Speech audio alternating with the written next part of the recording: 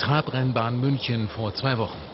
Für das Siegerpferd wird der Besitzer am Ende 750 Euro bekommen. Noch vor zehn Jahren war es doppelt so viel. Jedes Jahr gehen die Einnahmen für Veranstalter, Züchter und Aktive zurück. Denn auf den Rennbahnen wird immer weniger gewettet. Aber genau auf die Wetteinnahmen ist der Pferdesport dringend angewiesen. Und was hat jetzt der deutsche Pferdesport und die deutsche Pferdezucht davon?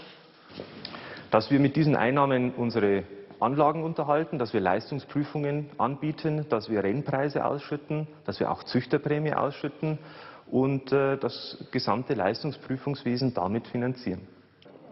Wird bei Pferderennen gewettet, gehen rund ein Drittel der Einnahmen an Veranstalter und Pferdezüchter. Zwei Drittel an Wettgewinner.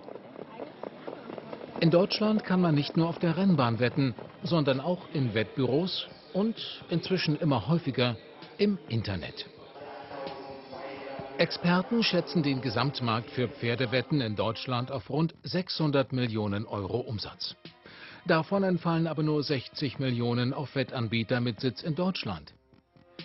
Den größten Teil mit 540 Millionen, also 90 Prozent, setzen Internetfirmen um mit Sitz in den Steueroasen Gibraltar oder Malta. Internetanbieter wie die Firma Albers, aber auch andere bräuchten nach deutschem Recht eigentlich eine Wettlizenz in Deutschland, egal wo ihre Firma residiert. Internetfirmen bestreiten das, verweisen auf ihre Auslandslizenzen. Doch die bundesweit zuständige Behörde, das Regierungspräsidium Darmstadt, will deutsches Recht umsetzen, hat alle Anbieter ultimativ aufgefordert, eine deutsche Lizenz zu beantragen.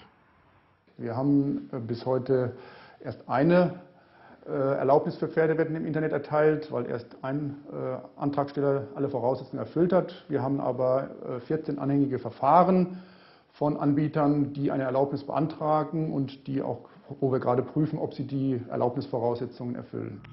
Nur WinRace aus Hamburg hat bisher eine deutsche Lizenz für Pferdewetten im Internet. Trotzdem bieten seit Jahren rund 20 Portale in Deutschland Pferdewetten im Netz an. Für Professor Rainer Wernsmann von der Universität Passau ist das illegal. Er hat mehrere Gutachten dazu verfasst. Grundsätzlich bedarf man einer Erlaubnis. Ohne Erlaubnis handelt es sich sogar um eine Straftat. Und wenn man gewerbsmäßig äh, Glücksspiele anbietet, ohne die erforderliche Erlaubnis, wird das mit Freiheitsstrafe von drei, Jahren, von drei Monaten bis zu fünf Jahren bestraft. Damit wären solche Wettaktivitäten strafbar und 90 Prozent des Umsatzes bei Pferdewetten in Deutschland illegales Glücksspiel. Ist der Firmensitz in Malta oder Gibraltar, zahlen sie außerdem nur ganz wenig Steuern. Solche Firmenkonstruktionen seien nichts als Trickserei, berichtet uns der ehemalige Manager einer großen deutschen Wettbürokette. Er will anonym bleiben.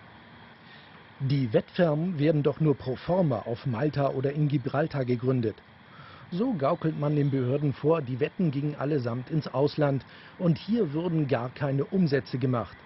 In Wirklichkeit gibt es Standleitungen aus Deutschland. Die Wetten, die etwa in Düsseldorf angenommen werden, schickt man über Leitung nach Malta. Dann sieht es nach außen so aus, als wäre das ein reines Malta-Geschäft gewesen.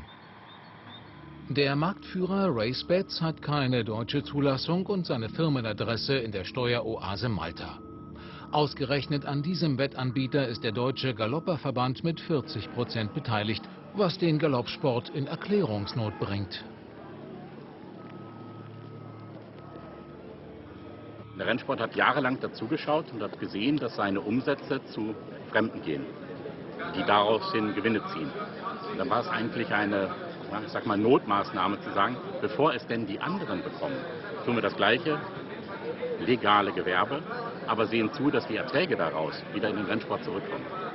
Eine mehr als fragwürdige Ausrede für einen Verband, der sich am illegalen Treiben eines Wettanbieters beteiligt, sagen Experten. Ich halte das für dummes Zeug, um es ganz deutlich zu sagen. Ähm, es gibt so etwas nicht. Also mir ist im Recht nicht etwas bekannt, dass, dass eine Notmaßnahme oder so, das gibt es nun einerseits begrifflich nicht, aber andererseits trägt es meines Erachtens auch hier nicht. Wenn ein Anbieter keine Lizenz hat, dann verhält er sich hier illegal am deutschen Markt. Dann ist das einerseits zu unterbinden, zweitens strafrechtlich zu verfolgen. Und wenn dieses Verhalten entsprechend Unterstützung findet, indem man sich auch noch beteiligt an solchen, dann beteiligt man sich an diesen Straftaten, macht sich ebenfalls strafbar. Danach müssten die Behörden eigentlich gegen Wettanbieter wie RaceBets und andere Portale vorgehen. Tatsächlich schauen sie zu, wie Wetten im Internet illegal weiter angeboten werden.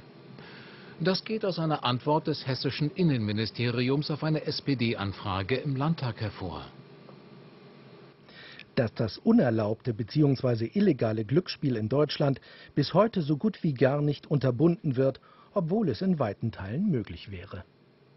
Selbstverständlich ist das ein Armutszeugnis. Also das ist ja im Übrigen in, in, anderen Kriminalitätsbereichen natürlich auch notwendig, dass in den Bereichen, in denen strafrechtliches Verhalten festgestellt wird, dass er entsprechend auch verfolgt wird. Das bedarf einerseits brauchen wir dazu qualifiziertes Personal, die Aufsichtsbehörden müssen andererseits entsprechend strukturiert und aufgestellt sein und die gesetzlichen Möglichkeiten müssen gegeben werden. Das muss alles entsprechend zusammenspielen. Das ist hier in diesem Fall nicht der Fall.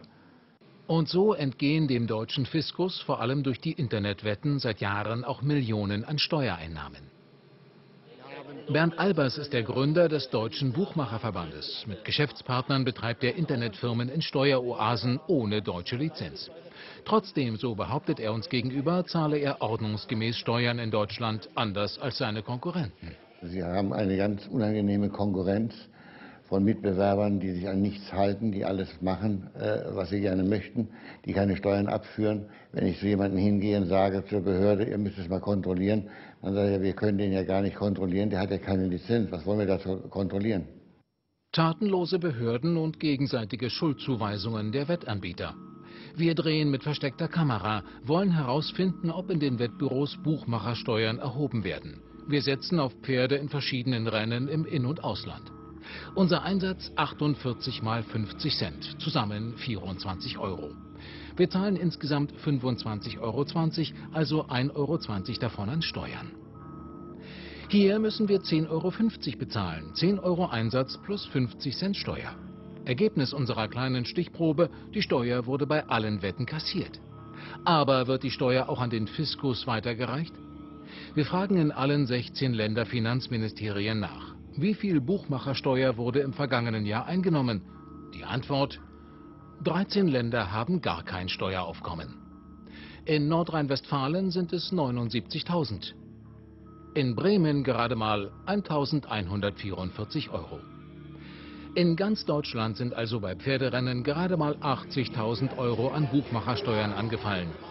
Wird hier Steuerhinterziehung im großen Stil betrieben? Die Staatsanwaltschaft Hamburg ermittelt nach Frontal 21 Recherchen inzwischen gegen mehrere Internetanbieter wegen des Verdachts auf Steuerhinterziehung. Ein Interview lehnt die Behörde mit Verweis auf das Steuergeheimnis ab. Für Josef Schachtner vom Trabrennverein Straubing kommen diese Ermittlungen spät, zu spät. Der Staat habe das Treiben der illegalen Wettanbieter zu lange nicht unterbunden man steht dem ganzen System etwas hilflos gegenüber. Ja? Man, hat, äh, man versucht auf verschiedensten Kanälen, dass endlich das Gesetz umgesetzt wird, dass Recht und Gesetz eingehalten wird, dass äh, Rückflüsse in den Sport sind. Und äh, man verzweifelt schlicht und einfach, denn äh, scheinbar haben im Moment die die Oberhand, die mit fragwürdigen illegalen Praktiken äh, ihr Geld verdienen. Und so fließt das, was eigentlich für den Pferdesport gedacht war, in andere Taschen. Pferdewetten ein Millionengeschäft ohne staatliche Kontrolle.